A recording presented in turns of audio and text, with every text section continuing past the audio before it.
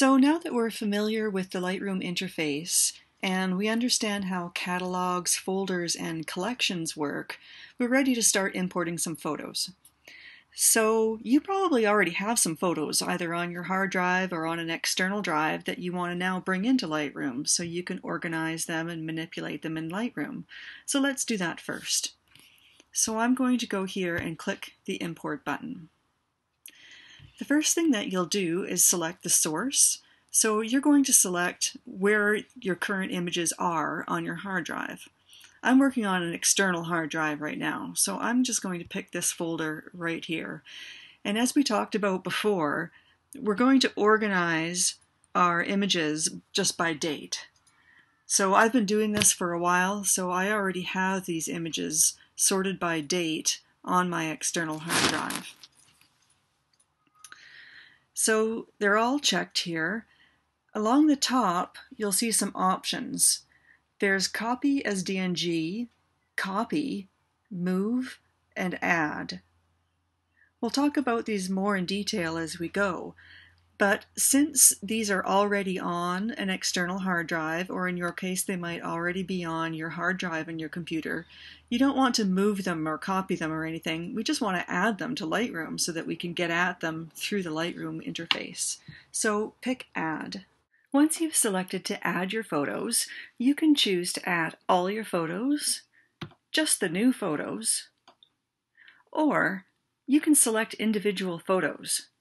If you only want to select certain photos in this folder, uncheck the box next to all photos, and then you can check the box next to the photos that you want to import. If you have a few in a row that you want to import, you can select the first one and then shift and select the last one to select all the photos in a row and then check one of these boxes and they will all be checked then you can go ahead and import these four photos. We're going to select to import all of the photos. So let's go over here to file handling. I like to import my photos as quickly as possible. It can take some time if you have a lot of folder, uh, photos in your folder. So build previews this is the preview of your image. For example, if I pick one and go to full size, that's a preview. So I only want Lightroom to render the minimal size right now. You could select to, to render the one-to-one -one image previews, but that's going to take a long time. So I just leave it at minimal for now. If I want other previews later, I'll create them later. Uh, I don't build smart previews. This checkbox here for don't import suspected duplicates can come in very handy, especially if you did what I just showed you about importing only four of these folders, or sorry, four of these photos. And then later on, you might come and import the next four photos or something like that.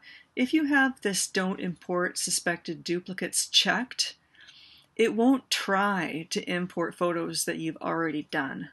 So that can be very handy. I always leave that checked. The next section, make a second copy too. I don't do that because I have a different method of backing up my photos, a method that I think is better than using Lightroom's built-in method here. So we'll talk about that later. I'm going to leave that unchecked. The next section is add to collection.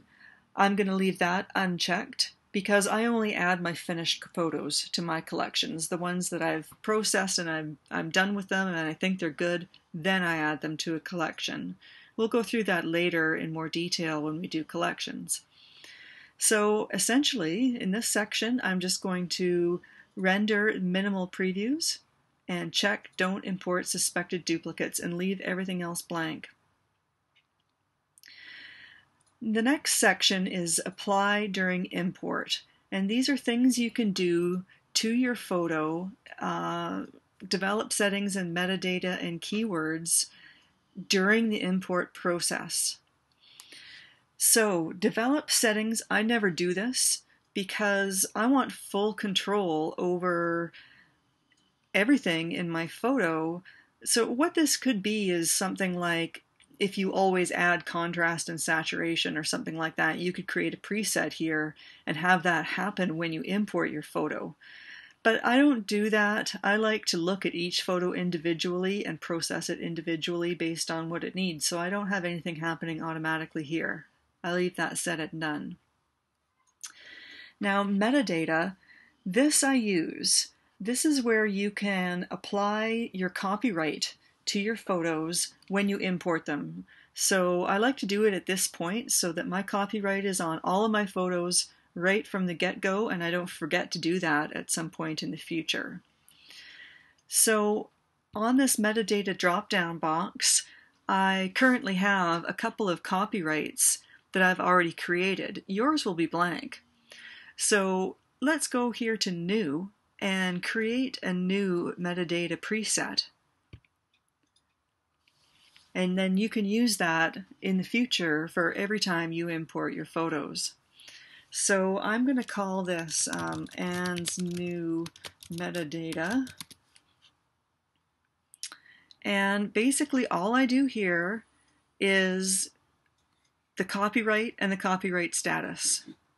So I'm going to put, um, well, let's say it's 2016. It isn't, but uh, better not do that. 2015 Anne McKinnell. And the copyright status is copyrighted. And that's all I'm going to do. I'm not going to add in anything in all of these multitude of other boxes. All I care about right now is the copyright. So I'll click Create. So now Anytime I come here in the future, I can click Anne's new metadata and have that copyright automatically applied to my photos. The last thing here is keywords. You'll have opportunities to add keywords later, but I like to add keywords now um, just because it's helpful. And um, all of these photos I made in Iceland, so I'm just going to simply put Iceland and leave it at that. And then I'm going to click Import. And since it's just adding the photos that already exist on my hard drive, this is happening quite quickly. You can see the progress bar here, and it's finished.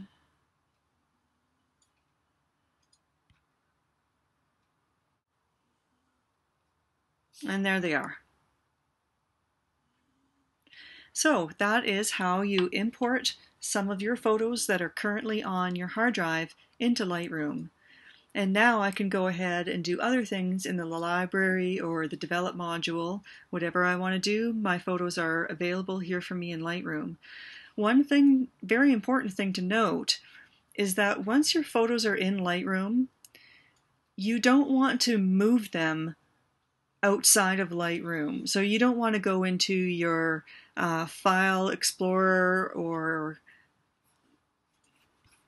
Finder to move your photos, if you're going to move them, do it in Lightroom, or else Lightroom will just uh, lose its mind and it will have a little question mark because it doesn't know where your photo is anymore. So once it's in Lightroom, do everything in Lightroom.